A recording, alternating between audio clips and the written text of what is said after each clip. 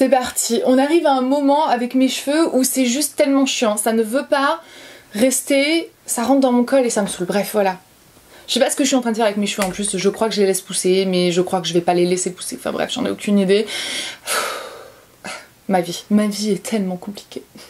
J'ai lu un commentaire euh, ce matin sous ma dernière vidéo qui m'a fait tellement rire en fait. Le commentaire c'est ouais franchement euh, t'as la boule au ventre juste parce que à cause de rouge à lèvres etc. Vous les youtubeuses vous avez vraiment des problèmes euh, machin bidule etc. Et les gens qui croient encore que je fonctionne que au premier degré Bref, bonjour tout le monde, j'espère que vous allez bien, que vous passez une bonne semaine, peut-être pas, peut-être que oui, je sais que c'est la semaine du bac, du brevet, des examens en général, et que du coup c'est une semaine un petit peu compliquée, j'espère du coup que cette vidéo va, j'avais beaucoup du coup là, bref, j'espère que cette vidéo va vous remonter un petit peu plus le moral, va vous permettre de, voilà, vous sortir de cette période des examens, je suis tout cœur avec vous, mais sachez que clairement, je suis tellement heureuse que ce ne soit pas moi à votre place. Je me suis dit, puisque c'est la semaine des examens, etc., pourquoi pas parler de quelque chose d'un petit peu plus light? Et parlons du coup de mes regrets. Non pas celui d'avoir terminé hier soir le sac de Cheetos que j'ai acheté avant-hier, et oui, je les mange seule, mais euh, les regrets que j'ai eu suite à des achats de trucs de luxe, parce que forcément, c'est comme ça que qu'on le regrette encore plus. Quand t'achètes vraiment un truc qui coûte la blinde et que tu le regrettes après, ça amplifie le truc fois mille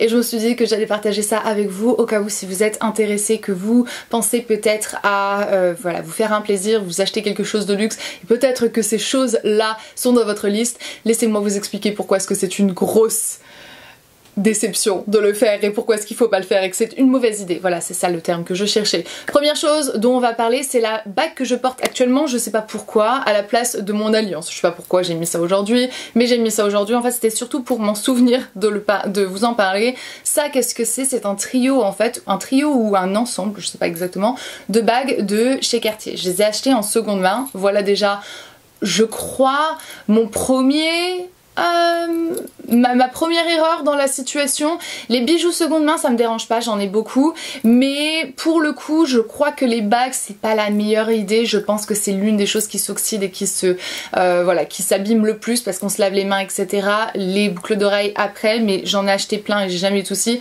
Bref, celle-ci je la regrette énormément pour plein de raisons en fait. Je trouve que sur ma main et eh ben et puis en plus je peux même pas fermer mes doigts quand je, quand je l'ai. Je trouve que c'est trop gros en fait. Et le pire de tout c'est que quand je l'ai acheté je l'ai regretté directement en fait. Et au lieu de le renvoyer je me suis dit non c'est rien je vais m'y faire. Et non je m'y suis pas fait. Donc ça c'est vraiment le truc juste débilos que tu vas dire ou tu vas dire non c'est rien je vais m'y faire. Non à ce prix là c'est soit tu adores soit tu rends ou tu ne dépenses pas ton argent. Et voilà je le regrette un peu.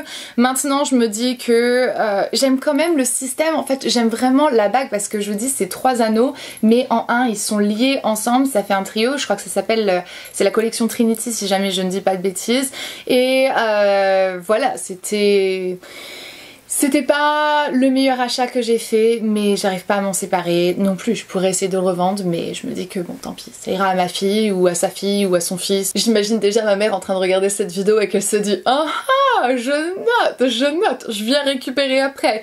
On a la deuxième chose qui est mon trench Burberry. Mon trench Burberry, je me le suis acheté il y a plusieurs années de ça. Ma fille venait de naître en fait quand je me le suis acheté. J'ai eu envie en fait de craquer et de me faire le cadeau que j'avais envie de me faire depuis des années. Je suis fan de trench et, euh, voilà forcément le trench Burberry c'est emblématique, c'est iconique et tristement je l'ai acheté et je ne le porte je l'ai acheté dans la couleur beige, donc la, couleur trench classique qu'on connaît du, Burberry.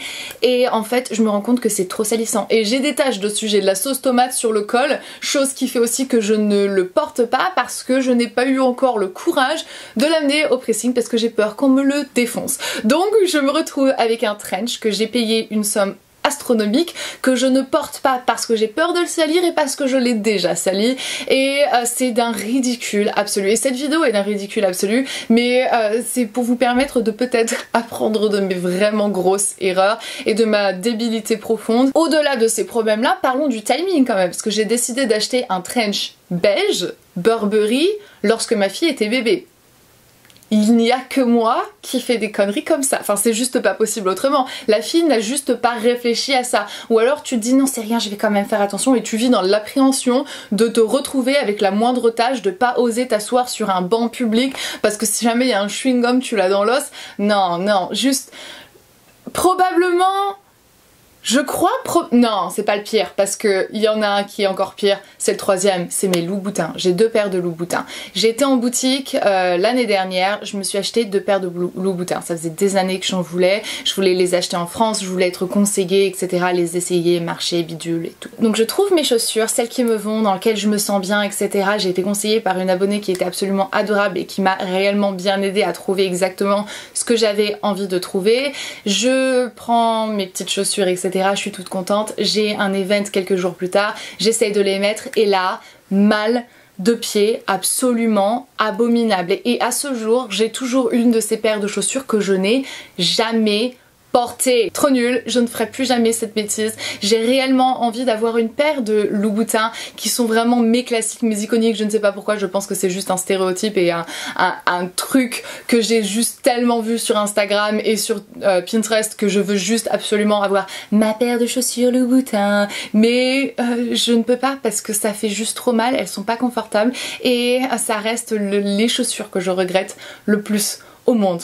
Ne faites pas cette bêtise, franchement juste pour la semelle rouge. Peignez-la s'il le faut, mais ne dépensez pas 500 euros dans une paire de chaussures Le Boudin parce que c'est juste la catastrophe. J'aimerais bien qu'ils prennent le temps de trouver un moyen de faire en sorte que ces chaussures soient plus agréables à porter. Ou alors il veut juste vraiment que ce soit des personnes qui sont dévouées tellement à la mode et aux chaussures qu'ils n'ont pas peur d'avoir mal aux pieds. Mais moi je ne peux pas, je j'aime trop mon confort. Quatrième chose, c'est un ordinateur, c'est mon MacBook Pro. Euh, je déteste mon MacBook Pro. Je le déteste parce que parce qu'il a aucune rien. Il ne sert à rien. Cet ordinateur ne sert à rien. C'est-à-dire que si j'édite une vidéo, juste après, mon ordinateur est full, je n'ai plus de place. Donc pour voyager, imaginez bien le truc qui est tellement instable où je dois continuellement, à force que je travaille, supprimer ce que j'ai sur mon ordinateur pour pouvoir continuer à travailler tellement j'ai pas de RAM sur cet ordinateur. Pire achat pro que j'ai pu faire de ma vie. Jamais plus cette, cette bêtise. Et euh, je sais pas ce que j'ai fabriqué en fait. J'ai juste pas fait attention lorsque je l'ai acheté. J'ai acheté le Mac qui était probablement le plus cher, cheap comme je suis parfois. Et, euh, et je me retrouve sans RAM.